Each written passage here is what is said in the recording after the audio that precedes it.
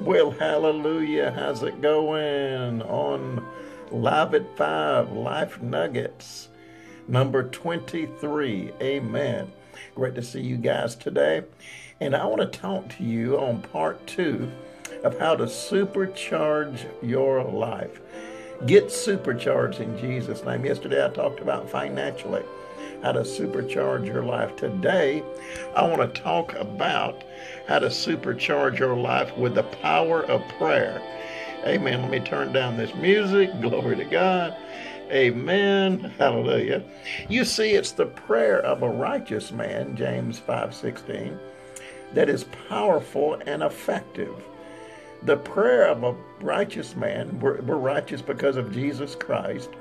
Amen. We pray in his name, the name above every name. And the prayer of a righteous man is powerful and effective. The Amplified Bible says it makes dynamic uh, power available. You see, my friends, if you know prayer, you'll know power, but if there is no prayer, there won't be any power. I mean, the only failure in America right now the only failure in your life, in your business, in your marriage, in your home, in your ministry is a prayer failure.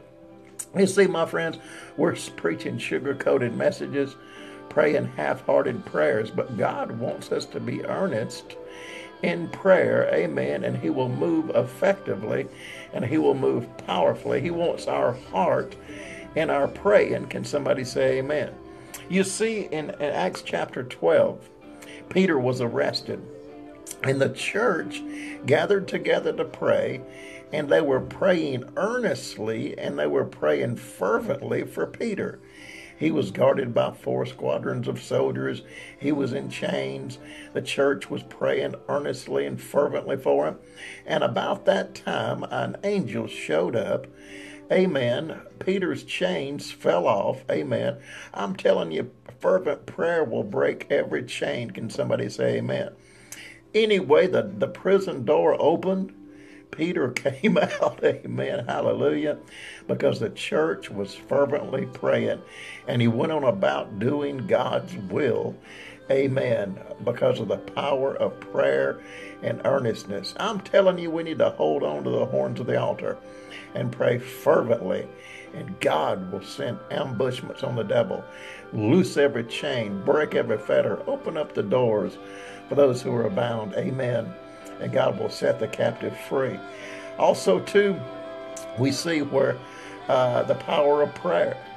Jesus said to the disciples, Ask and you will receive. Seek and you'll find. Knock and the door shall be opened. Amen. The Lord told me one time, He said, I want you to ask. I said, You do, Lord? He said, Yes, son. He said, Asking shows faith.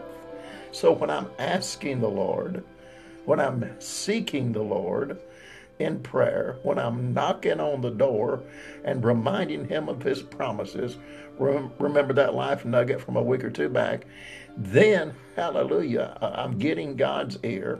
I'm praying according to His will. If I pray according to his will, I know he hears me, and I know I have the petitions that I've asked of him. 1 John 5 14 and 15.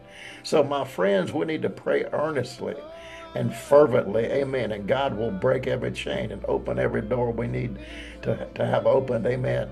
As we pray, hallelujah, we'll ask and receive, seek, find, knock, and the door is going to be open. Hallelujah. And here's what we need to do. And I've said this several times lately, and I can't get, get away from it. Go into your room. Here's the power of prayer.